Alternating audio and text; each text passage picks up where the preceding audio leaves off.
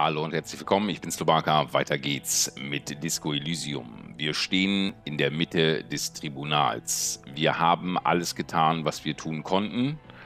Allerdings gibt es eine Möglichkeit, die ich jetzt erst sehe. Ich kann uns noch einen Fähigkeitspunkt geben. Oder sogar zwei. Auf die Auge-Hand-Koordination, damit dieser Schuss klappt. Die Rhetorik ist, glaube ich, jenseits von Gut und Böse. Ihn zu überzeugen wäre schön ein Argument, aber wenn wir uns da zwei Punkte geben, sind wir bei 40 vielleicht, vielleicht bei 53 oder sowas.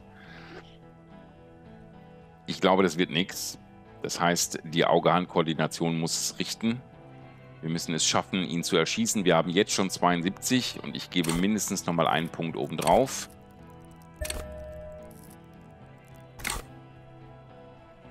...83. Geben wir unseren letzten Punkt um hier auf eine 90 zu kommen? Ich glaube ja. Das muss klappen. 92 Prozent. Liebe Leute, das sollte ja wohl hinhauen. Was dann danach passiert, ist eine ganz andere Frage und mehr Punkte haben wir jetzt nicht. Also, wir erschießen Cortenea. Hoffentlich. Das war grün.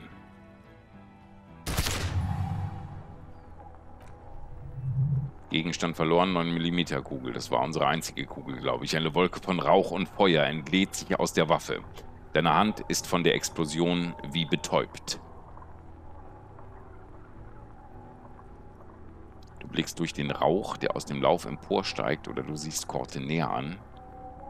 Ähm, na, wir schauen Korte näher an, natürlich. In seiner Wange ist ein Loch.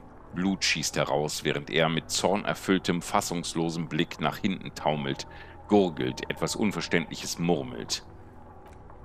Zu deiner... Was? Jetzt ist Action überall. Zu deiner Rechten hebt der Killer sein Gewehr und nimmt dich ins Visier. Seine Bewegungen sind ruhig, aber der lange Gewehrlauf schwankt langsam hin und her. Kim, wo ist Kim? Du blinzelst oder 58% wieder. Reaktionsvermögen, da ist es. Nicht Gewandtheit, sondern Reaktionsvermögen. Hätten wir uns noch was anderes anziehen können, aber gut. Kim, wo ist Kim? Aus dem Augenwinkel siehst du, wie der Lieutenant seine Pistole hebt und auf Ruth zielt. Du blinzelst und denkst nach. Nein, wir blinzeln nicht. Wir weichen dem Schuss aus. Hoffentlich 58 Prozent, meine Herren. Wir probieren's. Ja, Du springst nach links. Ein Schwarm von wütendem Blei saust wenige Millimeter seitlich an dir vorbei und reißt dabei ein Stück deines Mantels heraus. Es ist nur ein Hauch einer Berührung. Herrlich, ich lebe noch. Mich kann man nicht töten, ich bin unsterblich oder hör auf, auf mich zu schießen. Nein, wir werden sagen, ich, befürchte, dass es vielleicht in die falsche Richtung geht, aber wir bleiben rollenspielgerecht. Mich kann man nicht töten, ich bin unsterblich. Der Mann neigt seinen Kopf und versucht durch den lichter werdenden Rauch etwas zu erkennen, um den nächsten Schuss abzugeben. Vorsicht, links von dir wird DePaul auch gleich eine Kugel abfeuern. Auf Kim. Gott, bitte. Der Lieutenant spricht leise mit gefasster Stimme. Er zielt mit fahlem Gesicht. Dann erklingen zwei Schüsse gleichzeitig. Einer aus der Pistole des Lieutenants, der andere aus DePauls. Sie ist auf den Lieutenant gerichtet, verfehlt ihn jedoch. Hinter dir vernimmst du einen Schrei. Da hinten blutet's. Kim, hat er, den, hat er den Schützen getroffen? Aus den Augenhöhlen des Helms schießt Blut, als Ruth desorientiert rückwärts taumelt. Die aus seinem Helm herrührenden Geräusche hören sich kaum menschlich an. Dem Lieutenant ist ein unfassbarer Schuss gelungen. Okay, aber wer hat geschrien? Hinter dir stirbt Glenn in einer Blutlache. Sein zerfetzter Rumpf weist zwei Schusswunden auf. Blut schießt aus ihnen heraus wie aus zwei roten Gesieren. Du siehst, wie dich zwei rasende Augen anstarren durch den Rauch und die Panik. Der Mann, dem Blut aus dem Gesicht strömt, zielt mit seiner Pistole auf dich. Dann drückt er den Abzug. Wir haben nochmal Reaktionsvermögen 3%. Eieiei, du weißt dem Schuss aus, wird nicht klappen. Unmöglich. Du siehst ihm in die Augen. Ich sehe ihm in die Augen. So sieht Rache aus. Eingerahmt von Blut und bebenden Lippen. Das wird seine letzte Handlung auf Erden sein und er wird es durchziehen. Er wird dein Ende sein. Hier kommt er, der Tod. Ich glaube, ich weiche auch nicht mehr aus. Ich habe gerade gerufen, ich bin unsterblich, aber wir lassen es jetzt geschehen. Weil, was soll das? Dann, mit stolz geschwellter Brust, schießt er uns offensichtlich in den Rücken.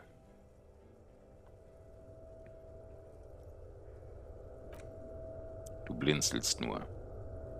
Dann explodiert etwas in deinem Becken.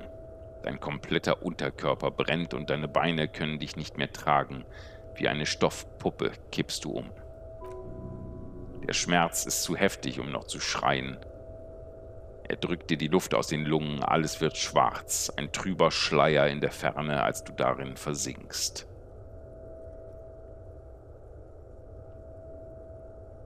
Du horchst durch die Dunkelheit und den Schmerz.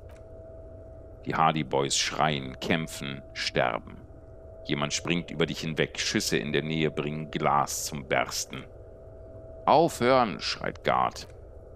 Der Bulle, beschützt den Bullen, er wurde niedergeschossen, sagt Titus. Du berührst deinen Unterkörper. Er fühlt sich warm und glitschig vom Blut an. Der Schmerz ist zu stark, um genau zu wissen, was hier passiert ist. Es verlangt dir alles ab, nicht die Besinnung zu verlieren. Welche Teile meines Körpers sind fort? Das meiste von dem, was da unten ist. Ist mir egal, scheiß drauf. Dort, wo die Kugel eingeschlagen ist, kannst du außerdem den Knochen fühlen, etwas sehr Spitzes, wie zersplitterte Zähne unter deinen Fingern. Du versuchst die Augen zu öffnen. Was sehe ich? Nichts. Eine andauernde Dunkelheit, tanzende Lichter des Schmerzes, die in der Ferne Schatten werfen, wie eine Aufführung direkt aus der Hölle. Sie verbluten. Mitten darin erscheint eine Silhouette, die über dir kauert, eine vertraute Stimme voller Dringlichkeit und Angst. Keiner feiert mit mir, keiner unternimmt etwas mit mir. Der Wolf ist an der Tür, Kim, er will die Sonne fressen. Rasant leben, alt sterben. Ich erinnere mich an alles. Kim, ich habe gelogen, da ist so etwas wie ein weißer Schatten, der nach Aprikosen riecht. Es ist immer da. Sprechen wir nochmal von unserer Frau. Wir haben doch öfter gesagt, es geht um die Liebe, also los. Da ist so etwas wie ein weißer Schatten, der nach Aprikosen riecht. Es ist immer da. Bleiben Sie bei mir, sagt Kim. Du spürst, wie dir brennend heiße Tränen aus den Augen schießen.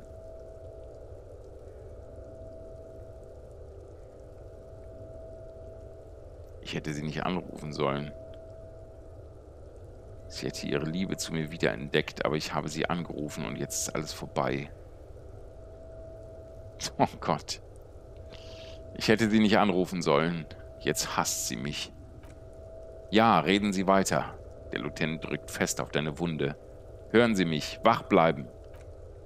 Aber das kannst du nicht. Es ist so mühevoll.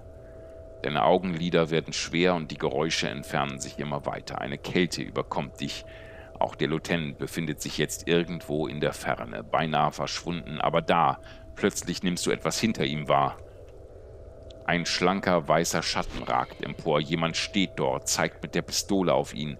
Der Lieutenant sieht sie nicht. Er drückt mit beiden Händen auf deine Wunde. De Paul steht da. Schnell, schrei ihn an. Er wird sterben. Wir brauchen eine mittlere Autoritätsprobe mit 42 Prozent. Und Kim vertraut uns überhaupt nicht. Deswegen haben wir zwei Minuspunkte. Jetzt kriegen wir die Quittung dafür, dass wir ihn so oft hängen gelassen haben, dass wir uns dem Faschismus gewidmet haben. Wir haben eine 42% Chance. Ey, ist das fies. Nein, Kim, Oh, Probe erfolgreich. Nein, sagst du und gibst ihm deine Waffe. Deine Hand zittert, deine Augen sind angsterfüllt. Mehr braucht es dafür nicht. Zögern kommt jetzt nicht in Frage. Der Lieutenant bewegt sich wie eine Feder, die nach oben schnellt. Er reißt dir die Waffe aus der blutigen Hand und feuert hinter sich. Du hörst einen schwachen Schrei, den einer Frau. Dann verstummt das Geräusch, als hätte jemand das Tonband gestoppt. Die Frau ist fort, genau wie Kim. Dann die ganze Welt. Völlige Dunkelheit bricht über dich herein. Das ist der Tod. Noch eine Tür, Baby, noch eine Tür.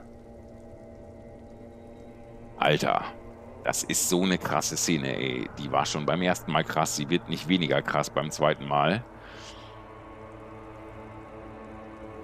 Ah, nein, lass mich weiterkämpfen.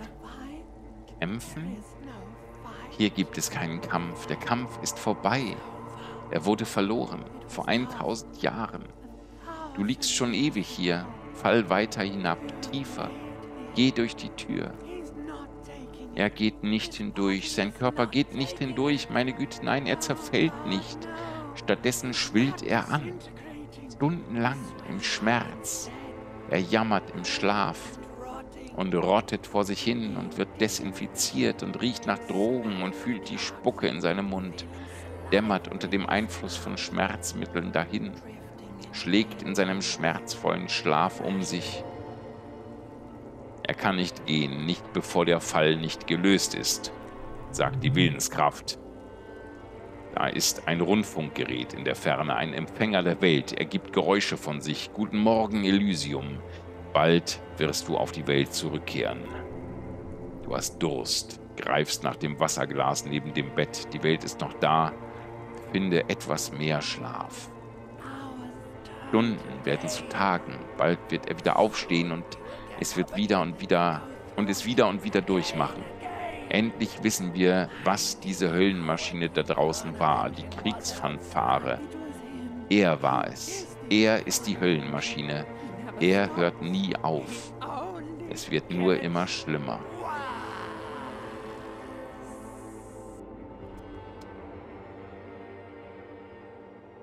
Hm. Unter der orangenen Jacke erkennst du den vertrauten Umriss des Lieutenants. Vor Schmerzen siehst du ihn erst doppelt, dann dreifach.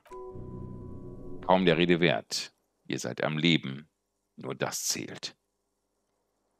Kim? Auftrag abgeschlossen, kehre ins Whirling in Rags zurück. Das ist unser altes Zimmer wahrscheinlich. Allerdings ist das Bett, naja. Gut, wir haben 70 Erfahrungen gewonnen. Sunrise Parabellum, sagt der Lieutenant. Er steht in der Mitte eines vor kurzem sauber gemachten Zimmers. Der Deckenventilator über seinem Kopf wirkt wie ein Heiligenschein. Sein Gesicht ist mit blauen Flecken übersät.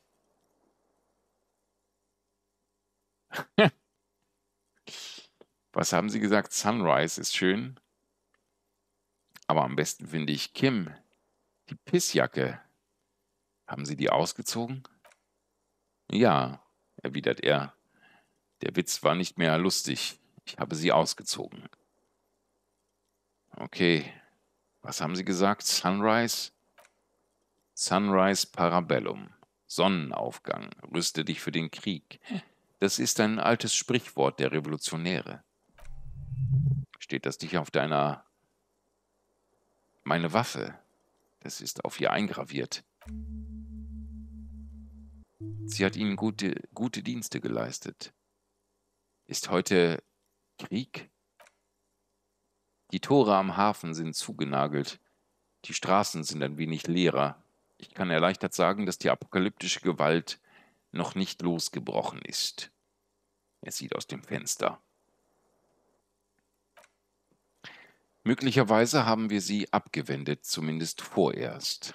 Er öffnet den Reißverschluss seiner Fliegerjacke. Gerade so. Ähm, so ein Pech. Ich glaube, ja, wir können wieder anfangen, Quatsch zu machen. So ein Pech. Pech. Ganz ehrlich, ich will, dass diese Gesellschaftsordnung sofort in sich zusammenbricht. Das ist das Ende und ich spiele seine Fanfare, Kim. Je schneller wir es hinter uns bringen, desto besser. Ein Pech, dass all die Hunden und Verräter nicht weggespült wurden. Es ist, als würde ich leiden, ohne zu wissen, wofür. Sie verstehen mich falsch, ich habe das anders gemeint, diskomäßig. also entweder wollen wir, dass diese Gesellschaftsordnung jetzt in sich zusammenbricht oder nein, Sie haben mich falsch verstanden. Ich habe das anders gemeint, diskomäßig. Cool, sagt er. Autsch. Es ist noch keine Zeit für Autsch. Sie haben erst vor einer Stunde eine Druamin-Tablette genommen. Okay, dieses Zimmer, es ist sauber. Herr Gard hat es sauber gemacht. Es hat Ihnen einen ganzen Tag gekostet. Wie lange war ich weg? Zwei Tage, mehr oder weniger weg. Sie waren wach genug, um Druamin zu nehmen und zu fluchen und Wasser zu trinken. Was ist passiert? Und was passiert ist, sie haben dem Major ins Gesicht geschossen. Das hat zu einem Feuergefecht geführt. Ist er tot? Ja. Du bist ein echter Mörder, Harry. Ich bin ein Mörder. Sie sind ein Officer der BMA. Er fährt fort, ohne auf eine Antwort zu warten. Als Vergeltung hat Ihr Schütze versucht, Sie zu erschießen. Er hat verfehlt oder Sie sind zur Seite gesprungen. Ich bin zur Seite gesprungen. Dann habe ich ihn angeschossen, als Glenn eine Kugel in die Wirbelsäule bekommen hat. Er nickt. Sie war für mich bestimmt. Glenn hat nicht überlebt. Er macht eine Pause. Titus, der dicke Angus und Theo sind vorgeprescht. Angus und Theo haben es nicht geschafft. Sie sind beide gestorben, bevor sie in der Notaufnahme angekommen sind, genau wie Elaine und der Musiker. Sein Name ist mir entfallen. Eugene? Ja, er ist auch noch am Leben. Du nickst. Zu dem Zeitpunkt waren Sie am Verbluten. Ich glaube, Sie haben etwas über Ihre Frau gesagt und Sie haben mich gewarnt. Ich konnte eine von Ihnen entwaffnen, De Paul, bevor sie mir zuvorkommen konnte. Ich habe sie getötet. Der Lieutenant nimmt eine Zigarette aus seiner Jackentasche und zündet sie an. Ein bitterer Geruch füllt das Zimmer und das ist die ganze Geschichte, sagt er noch. Also haben sie auch getötet. Ja, das sagen wir jetzt mal. Er nickt. Bevor wir über ernsthafte Sachen reden, ich dachte, Sie rauchen nur eine am Tag. Genau, die hier. Hm. Und Sie sind alle tot, alle drei Sicherheitskräfte? De Paul ist als letztes gestorben. Er nickt.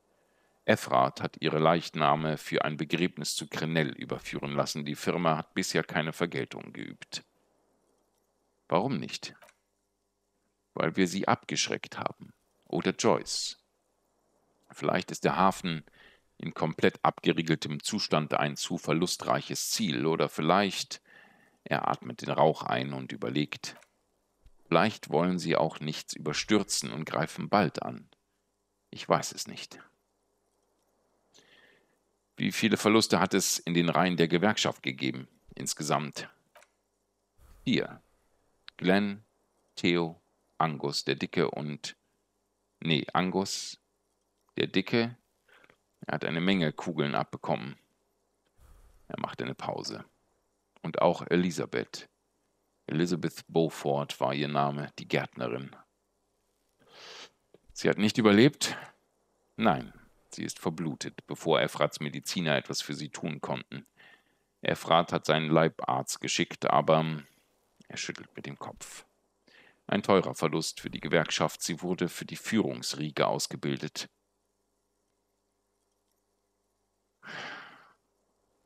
Hätte ich ihrem Anführer, ich glaube, jetzt prahlen wir mal nicht hier, hätte ich ihrem Anführer die Theorie nur geschickter präsentiert.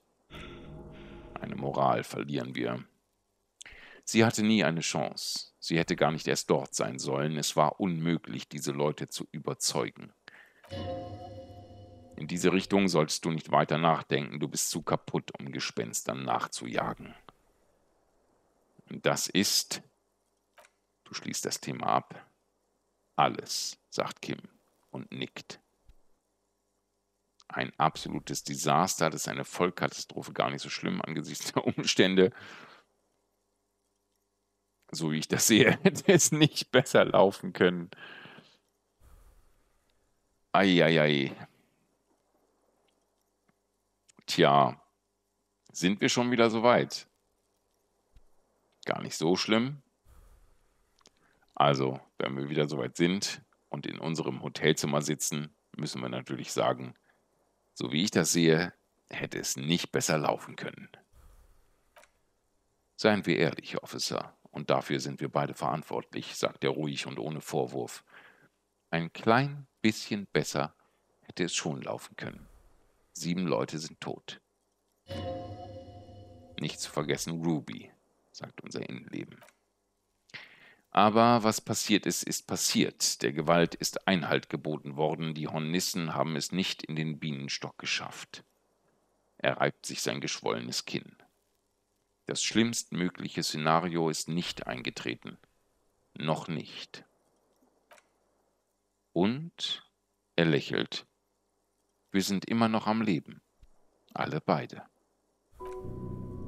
Seine Raucherei, sein gekrümmter Rücken, Dir ergeht es schlimmer, aber er hat eine ordentliche Abreibung bekommen. Diese Zigarette erfüllt einen medizinischen Zweck. Wie schlimm bin ich verletzt? Mehr oder weniger schlimm. Ihnen wurde in den linken Quadrizeps geschossen. Das ist Ihr Oberschenkel, glücklicherweise außenseitig. Ihre Hauptadern wurden verschont. Die Kugel wurde entfernt und Ihre bakterielle Infektion mit Merkurochrom behandelt. Kann ich laufen? Das werden wir sehen. Eines steht fest, du wirst erstmal aufs Tanzen verzichten müssen, aber auch humpelnd solltest du durchs Leben kommen, sagt unsere Gewandtheit. Sind Sie verletzt? Fragen wir mal zuerst, bevor wir fragen, ob jemand aus unserem Revier hier war. Sind Sie verletzt? Nur ein wenig. Er reibt sich das Kinn. Ich habe eine Gehirnerschütterung, weil mich diese Frau mit ihrem Waffenschaft, äh, mit ihrem Waffenschaft geschlagen hat. Ich versuche mich nicht zu sehr zu bewegen. Wenn Sie mich nicht gewarnt hätten, würde es jetzt schlechter um mich stehen. Er hält kurz inne. Hm, danke dafür. Sie hat mich auf dem falschen Fuß erwischt. Dumm von mir. War jemand von meinem Revier hier, um mich zu besuchen? Nein. Hm, ist das nicht eigenartig? Wirklich nicht gut. Ich brauche sie nicht. Na komm, gut, ich brauche die nicht. Ich habe mich nach dem Kampf bei ihrem Revier gemeldet. Die Verletzung wurde erfasst. Sie haben mir gesagt, dass sie Officers entsandt haben, die zu ihnen stoßen werden. Die zu ihnen stoßen werden. Merkwürdig, Sie haben aber niemanden gesehen, oder? Er hält kurz inne. Ich bin mir sicher, dass Sie sich Sorgen um sie machen. Ach, Kim, du bist so nett. Wir haben dich so schlecht behandelt die ganze Zeit. Wer hat mich behandelt, wenn nicht mein Revier? Ich war das. Ich wusste gar nicht, dass sie das können. Oh Mann, ey. Darf ich mal einmal, ich muss mal ganz kurz Danke sagen. Danke. Keine Ursache. Okay. Wir stehen auf. Wenn wir es denn können. Probieren mal. Immer mit der Ruhe. Vor deinen Augen verschwimmt der Lieutenant wieder zu einem Doppelbild, ein orangener Farbfleck des Schmerzes. Du kannst es schaffen, leg einfach nicht zu viel Gewicht auf dieses Bein. Dein Gleichgewichtssinn spottet jeder Beschreibung, auf deinem wackeligen Bein fühlst du dich, als würdest du gleich vornüberfallen. Wie geht es Ihnen? Die richtige Antwort muss lausen, lauten. Der Lieutenant beobachtet dich dabei, wie du dich kaum auf den Beinen hältst. Er denkt, dass du dich wieder hinsetzen solltest. Los, Rücken gerade, du setzt dich nirgendwo hin. Okay, ich kann das andere gar nicht mehr machen. Verdammt, ich dachte, ich hätte noch ein bisschen mehr Möglichkeiten. Schade. Okay, wie geht es jetzt weiter, Kim? Ich weiß es wirklich nicht. Gut, denn ich weiß es genau. ähm, ja, das werden wir so sagen. Ach ja? Denn wir können nicht mit Efrat reden, der Hafen ist abgeriegelt. Alle, die sich dort befinden, sind jetzt außerhalb unserer Reichweite. Joyce ist auch weg, weil wir uns eingemischt haben. Sie denken nicht, dass es eine gute Idee war? Ich weiß nicht, was ich denken soll. Vielleicht war es auch gar keine so schlechte Idee. Irgendwo im Getriebe sitzt ein Stift, der Crenell davon abhält, eine Todesschwadron zu schicken. Er blickt zum Fenster hinaus. Vielleicht ist sie es. Vielleicht hat sie ihren Teil der Abmachung erfüllt. Ruby ist auf jeden Fall weg und Klaas ja auch. Wir hätten sie wirklich verhaften sollen, wissen Sie? Moment mal, Sie haben nachgesehen, sie ist wirklich... Gard hat mir bestätigt, dass sie 20 Minuten bevor das Tribunal aufgetaucht ist, verschwunden ist. Wer war es dann, Kim? Wer hat den Gehängten auf dem Gewissen? Ich weiß es nicht. Ich glaube, die Theorie, die Sie angestellt haben, dass es jemand anders gewesen sei, außerhalb des Kreises unserer Verdächtigen, war korrekt. Man kann es nur hoffen. Jeder innerhalb des Kreises ist entweder tot oder verschwunden. Ehrlich gesagt hat uns unsere Ermittlung zu keinem einzigen echten Verdächtigen geführt. Seine Stimme ist ruhig und sachlich. Das kommt alles nur davon, dass ich La Puta Madres Peone bin, oder? Die verfluchten Maiglöckchen, Kim, die Blumen. Was ist mit dem Loch? Jemand hat ein Auge auf sie geworfen, die gottverdammten Fußspuren. Es besteht immer noch eine Wahrscheinlichkeit von 28 Prozent, dass der Schuss aus der Ferne abgefeuert wurde. Eine altertümliche Kugel aus einer Belle Magrave. Wie schwierig kann es schon sein? Boy, neun Möglichkeiten. Ich fange mal oben an. Nein, ich fange an mit den verfluchten Maiglöckchen, Kim. Die Blumen. Was? Du ziehst die getrocknete Blume hervor, beim Herausrupfen zerfällt sie in ihre Einzelteile. Das hier, erinnern Sie sich. Es steht nicht jeder Mist in, diese, in dieser Stadt mit dem Fall in Verbindung. Sie müssen nicht alles einstecken. Doch, Kim, auch das wird damit in Verbindung stehen. Liebe Leute, ähm, ich glaube, ich bin am Ende dieser Staffel angekommen. Ich werde hier jetzt aufhören und den Beginn der nächsten Staffel mit diesem Kram hier weitermachen. Denn wir stehen hier vor Kim, er raucht eine und wir überlegen uns, wie es jetzt weitergeht. Und das machen wir beim nächsten Mal. Ich danke euch allen fürs weitere Dabeisein. Das war mal eine richtig krasse Staffel, würde ich sagen. Und es könnte sein, dass die nächste Staffel auch die letzte Staffel wird. Wir werden sehen, was wir herausfinden. Bis dahin, macht's gut.